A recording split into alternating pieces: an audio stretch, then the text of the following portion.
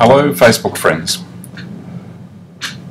Timothy uh, asked me yesterday on my timeline if I believe in photons, and uh, I thought I would take this opportunity to explain ground potential basic principles in a little bit more detail.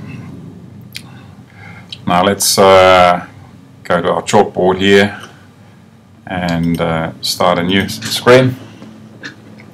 Now, ground potential theory differs a little bit from uh, the standard model theory, uh, and in not so many ways. Um, let's start off with the main point of difference. We're going to draw one axis, and this is going to be the potential energy axis, and I'm going to mark that with um, phi.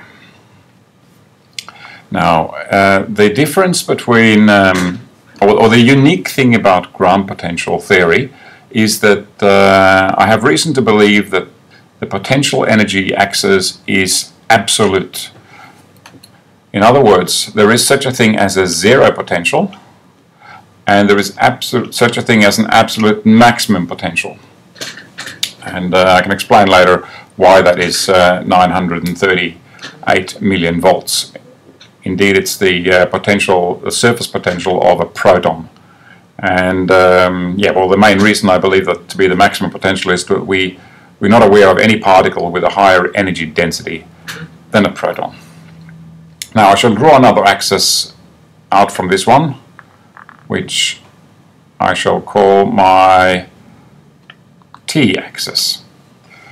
And I shall indicate here that the observer is at this potential. And we shall call this line here for ground potential. So that this, where this intersects the uh, potential energy axis, we shall call it GP. So ground potential is along here. Now, if I change my chalk there. Now, uh, let's take a um, photon and draw that in on the time axis as a wave with a peak and a trough like that. So we can see here that this photon is symmetrical on the ground potential axis. The height of the of the wave here, which we normally refer to as uh, u, and the depth of the trough, which could be minus u, are equidistant on the ground potential axis. And this is the main feature of a particle with zero mass. A particle with zero mass has an equipotential wave either side of ground potential. ground potential, that's where you are. You're the observer. And um, we've also discovered something else interesting from ground potential theory because when you solve the ground potential equation, there is a very simple relationship between velocity and potential. And that relationship is very simple. It's delta V is equal to the speed of light multiplied by delta phi over phi. So we have a lowercase phi here and a uppercase phi here. The uppercase phi is the maximum potential, that's, a, that's the absolute total potential, and the delta phi is the difference between ground potential and whichever we part we're measuring. So when we apply this simple velocity equation to the photon, we find to our surprise, or not so much to our surprise because we already knew this, that the peak and the trough propagate at different velocities. In fact, when you put the numbers in here, the difference in potential, which is this one for the positive wave and this one for the negative wave, we discovered to our surprise that the negative particle moves backwards in time and the positive particle moves forwards in time.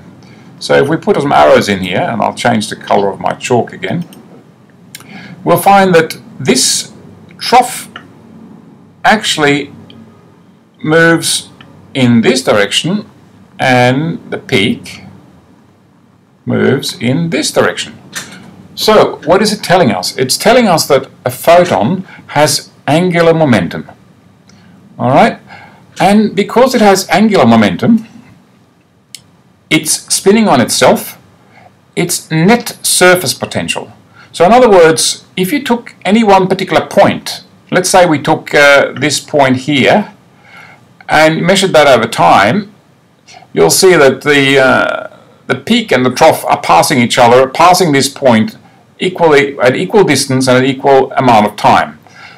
So you have a, a negative energy and positive energy rotating which indicates that this particle has a net surface potential of zero. So when you put the surface potential of this particle and put a zero in, in delta phi here, you'll find that this particle here essentially propagates with the speed of light. Now, if this was a particle with mass, it would just look slightly different. It's exactly the same thing, it's a wave, but when it has mass, it has one simple feature, which is different to a photon. And let me show you. To do that, I have to draw my axis again, so bear with me for a second. We'll just clear that.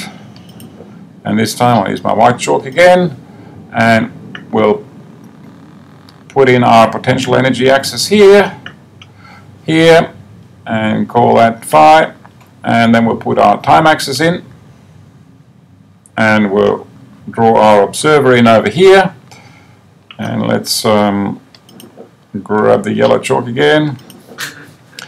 And this time we're going to draw in a massive particle. There it is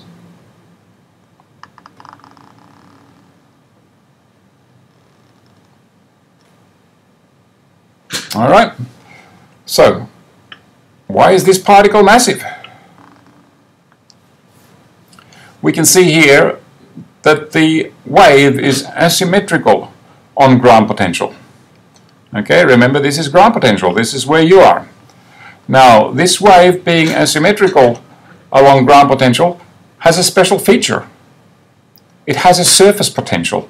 Unlike the photon, which has zero net potential on the surface, this particle has a surface potential because like the photon, we find when we apply the ground potential velocity equation that these particles also move relative to the observer.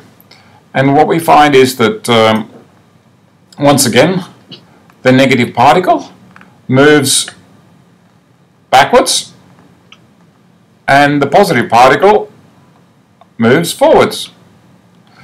So in a dumbbell fashion, we could, we could draw this arrow all the way around. In this particular case, you can see if an observer, if you observe the uh, particle from here, you'll see that the negative particle is much closer to the observer here than the positive particle. In other words, this particle here has a negative surface potential.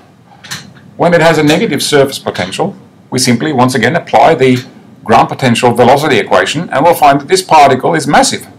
And it is either moving towards us or away from us, depending on whether the potential is positive or negative. That's the, that's the simple explanation of ground potential. A particle with mass has a surface potential. It's a, it's a particle which its wave is asymmetric on the ground potential axis. A photon, or a massless particle, is a wave which is symmetrical on the ground potential axis. If we look at the, a simple wave like the hydrogen atom, we already know this. We already know the electron is rotating. And that's simply the, what governs the electron's rotation and the jiggling of the nucleus is simply the difference in potential between the proton and the electron with respect to the observer at ground potential. This is my argument for claiming that space itself does not partake in whether or not a particle does what it does. It is you, the observer, which determines what a particle does. It is your, the observer's potential which determines how the universe looks. The particle itself can take any shape depending on who's observing it. This is, this is the whole confusion with, um, with quantum uncertainty. There is nothing uncertain about the particle. The uncertainty lies with the observer.